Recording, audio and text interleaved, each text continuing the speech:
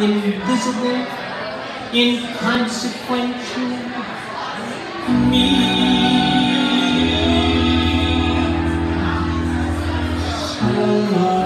Mr. Cellophane, should have my name, Mr.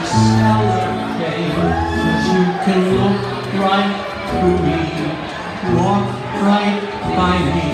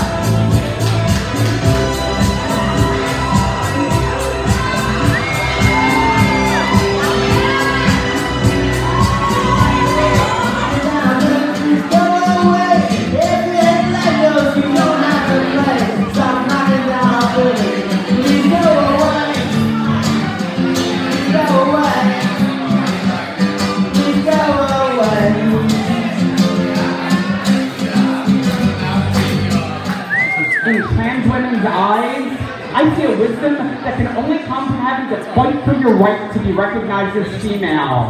A raw strength that only comes from unabashedly asserting your right to be feminine in an inhospitable world. In trans women's eyes, I see someone who understands.